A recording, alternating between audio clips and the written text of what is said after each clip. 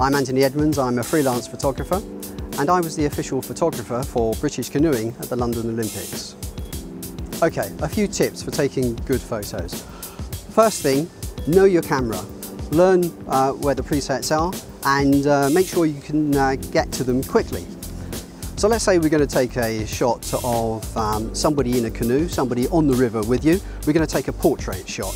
So what you want to think about with portraits is, can I see the person? Are they coming towards me? It's always good to see somebody's face. And if you can, focus on the eyes because that's the most important part. That's the bit that makes the image quite often. Where's the light? If the light's behind them, well, it could be a good silhouette shot, but you want the, the light usually uh, behind you. So have the light on the face, we can get, we're going to get a, a great shot. One good tip on taking portraits, you often see uh, a portrait and the face is right in the middle of the picture. Try this, try putting the face to one side and then leaving the other half of the frame to give you some context. Now of course, uh, canoeing is a great way to get close to uh, wildlife, but one tip, if you are approaching wildlife, maybe the bird feeding at the side of the river, uh, don't go head on to it because it will probably see you coming and you'll scare it off. Actually, I find if you zigzag towards it, amazingly, it will probably ignore you, you'll get much closer and you'll get some really great images. When taking photos of uh, landscapes, think about where the horizon is going to go.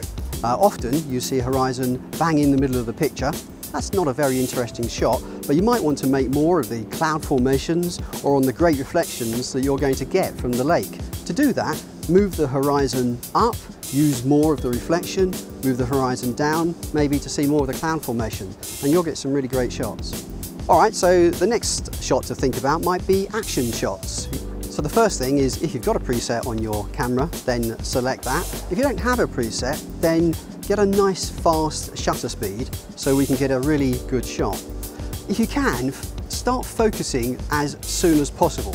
If you can, again, uh, lock onto the head because when we take the shot, doesn't matter if uh, other parts of the body, arms and legs are out of focus, but we really want to get that uh, head in focus. Next tip is actually taking the photo. I see a, a lot of people there pick up their compact camera, put it in front of them and uh, take the photo. Much better if you can to use two hands, keep a nice firm grip on the camera and as you're taking the photo don't stab the camera because doing that will move it, just firm but gentle uh, squeezes.